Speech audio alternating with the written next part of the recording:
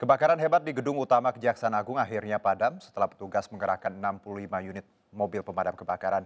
Meski pagi ini api terpantau padam, namun kepulan asap tipis masih terlihat di sejumlah titik, sementara gedung utama Kejagung nampak ludes terbakar dan menghitam.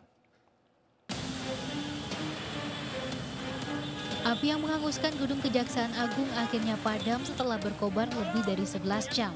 Pihak pemadam kebakaran menyebut seluruh gedung habis terbakar lantaran adanya perambatan besar ke seluruh gedung pada dini hari tadi, sekitar pukul 12.50 dan pukul 2 pagi.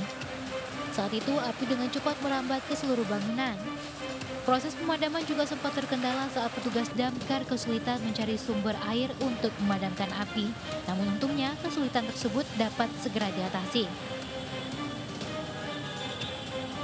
Selama proses pemadaman, petugas melakukan penutupan terhadap sejumlah ruas jalan yang mengarah ke gedung Kejagung.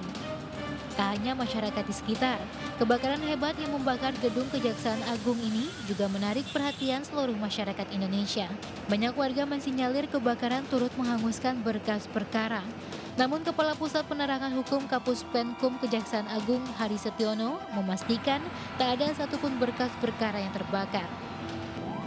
Hari memastikan lantai 3 dan lantai 4 gedung tersebut merupakan ruangan untuk bidang intelijen, sementara lantai 5 dan 6 adalah bidang pembinaan dan kepegawaian Kejaksaan Agung. Untuk mencari penyebab kebakaran, polisi langsung bergerak setelah api berhasil dipadamkan. Dari Jakarta, tim liputan iNews melaporkan.